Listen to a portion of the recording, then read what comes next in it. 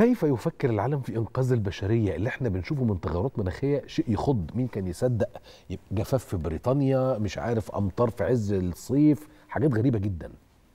هو الحقيقة يعني هي ليست مفاجأة للخبراء والعلماء. إحنا بنعتبر المئة سنة اللي إحنا فيها دي هي أصعب مئة سنة في تاريخ الكرة الأرضية بالنسبة للتحولات المناخية. وفي نفس الوقت ما حدث في الفترة الأخيرة على مدار الخمسين سنة الأخيرة لم يكن في توقع أحد إن إحنا ممكن نوصل لدرجتين ونص في عشرين خمسين. لأن إحنا بنتكلم على ارتفاع درجة حرارة سطح الكرة الأرضية. مم. إحنا ما بنتكلمش على درجة حرارة الأرصاد. أيوه. ساعات بنطلع نتكلم فالناس بيفتكروا حرارة الكوكب. لا إحنا بنتكلم على درجة حرارة الكوكب مم. درجة حرارة سطح الكرة الأرضية. أيوه. المفروض إن آخر 100 سنة اللي فاتوا زادت في ال 100 سنة 9 من عشرة ما وصلتش درجة مم. فكنا متوقعين إنه بالكتير مع كل الثورة الصناعية اللي حصلت والتسخين وحرق الفحم والبترول وكل أنواع الوقود الاحفوري ده قلنا احتمال يعني إنها تبقى في 20 100 يبقى مثلا واحد ونص درجة.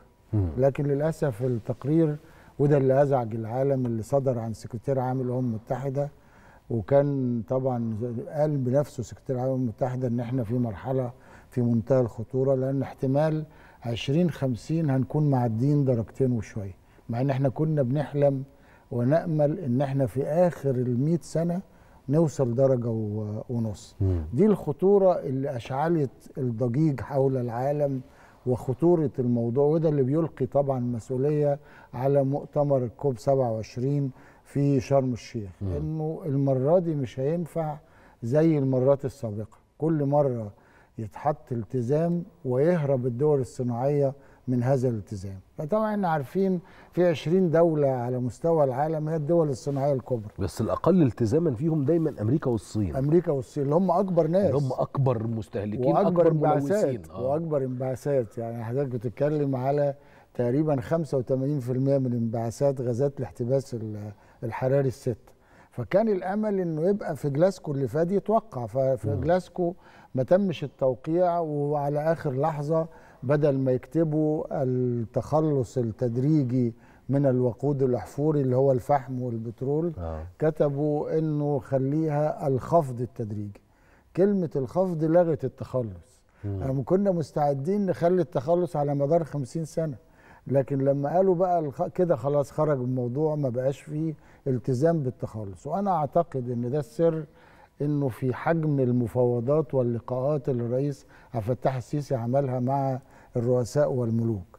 إنه المرة دي هيبقى من الصعب إن أنت تخرج بالمؤتمر ما يكونش فيه التزام بمدى زمني لخفض تدريجي لغازات الاحتباس الحراري.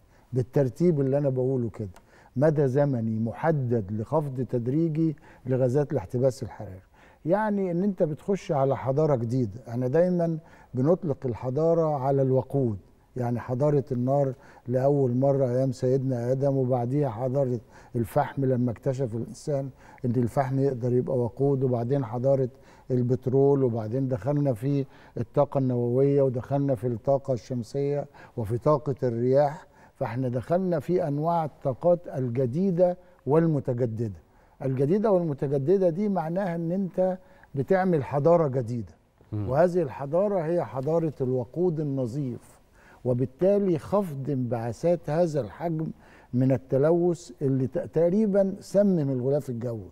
يعني إحنا مثلا يقول لك ال- الإنسان ياخد حوالي أربعة ونص كيلو جرام هواء في اليوم وياخد كيلو ونص جرام غذاء في اليوم وياخد اتنين ونص آه، كيلو آه، من المياه في اليوم. احتياجاتك ال basic needs دي الاحتياجات الأساسية. في دول النهاردة مش لاقية تشرب. الجفاف ضرب الصومال مثلا وضرب مم. عدة دول في أفريقيا. الأنهار مين اللي كان يصدق أنهار أوروبا تجف؟ مين اللي كان يصدق أن الدانوب والراين ما يبقاش فيه مية؟ وأن المراكب اللي كانت محتاجة 50% من مية النهر؟ و60 و70% النهارده مش مش عارفة تمشي مم. لأن 25% حجم المية اللي موجودة في أنهارهم. اللي شفناه لم نكن نتخيله. خالص.